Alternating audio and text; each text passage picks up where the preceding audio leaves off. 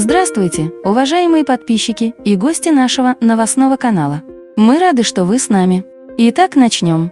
Глава Минобороны Шойгу заявил об угрозах, исходящих из Афганистана, для стран ОДКБ. Границу Афганистана с Таджикистаном и Узбекистаном контролируют талибы, заявил министр обороны Сергей Шойгу.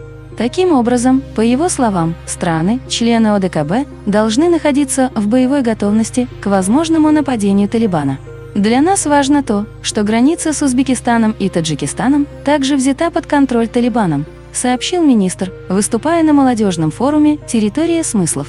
Он пояснил, что на данный момент все угрозы, исходящие от Афганистана, сохраняются.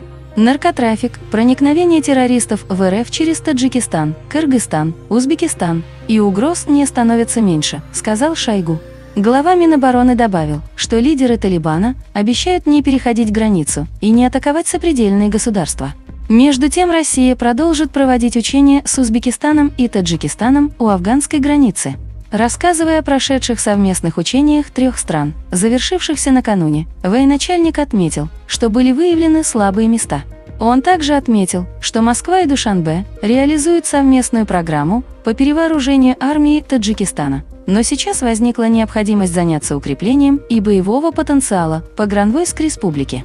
Напомним, на полигоне Харб-Майдон в 20 километрах от таджикско-афганской границы накануне завершились военные учения ВС России, Таджикистана и Узбекистана. В масштабных учениях принимали участие более 2,5 тысячи военнослужащих. Также было задействовано около 500 единиц техники.